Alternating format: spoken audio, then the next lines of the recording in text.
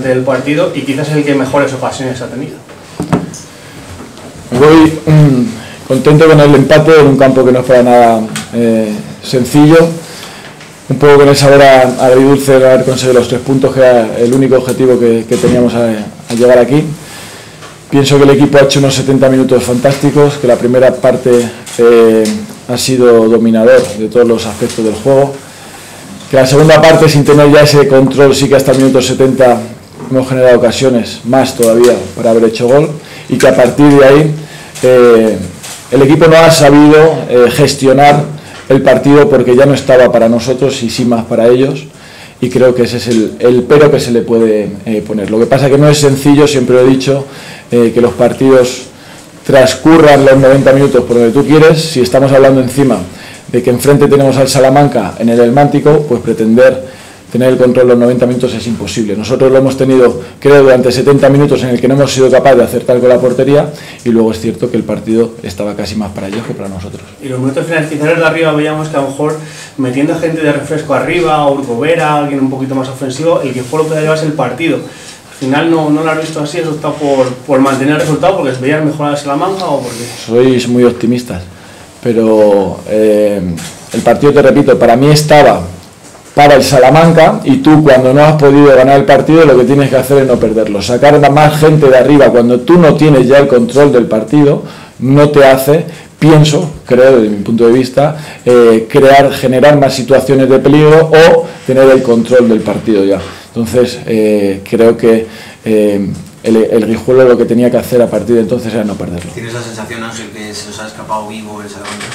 Sí, porque un partido normal, eh, lo lógico es que tú hubieras hecho alguna de las ocasiones que has tenido, ya te, repito, durante esos primeros 70 minutos y a partir de ahí el encuentro hubiera sido totalmente diferente. La primera parte también, aunque hemos generado ocasiones, pienso que el estado del terreno del juego y el viento nos perjudicaba a la hora de ser verticales, nos ralentizaba mucho las acciones, eh, pero bueno, en cualquier caso nunca vamos a poner excusas, nunca lo hemos hecho. Contento, felicitar a los jugadores por el esfuerzo. Creo que en un escenario como este no es nada fácil jugarle al Salamanca como, como lo hemos hecho, así que, quiero pensar en positivo. al final es eso, un bate a cero, vuelve a la portería a cero, otro punto fuera de casa, que el juego sigue en esa, en esa gran línea que está. Sí, eh, sabemos de la dificultad durante este tramo final de ganar el partido. Ya habéis visto ahí ahora mismo cinco empates en, el grupo, no es para nada sencillo. Lo que sea sumar fuera es eh, importante, pero te repito, nos vamos con la sensación de, de, poder, de poder habernos llevado los tres puntos. Ángel, viendo los, eh, los resultados que se están dando por abajo, zona media-baja, ¿cuánto crees que va a estar el tema del play-out y el descenso? He visto el play-out ahora estaba 28, eh, quedan 11 jornadas, yo pienso que con 45 puntos te puedes salvar. ¿Cómo has visto a Salamanca?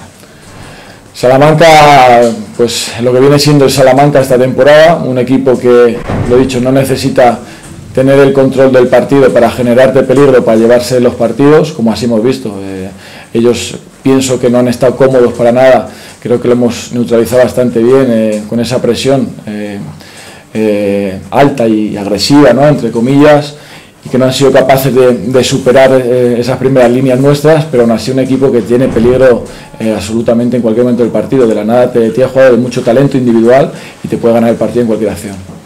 Bueno, Ángeles, la gente se está volviendo a enganchar con el equipo, de hecho había mucha gente de Guijuelo en el, en el Atlántico.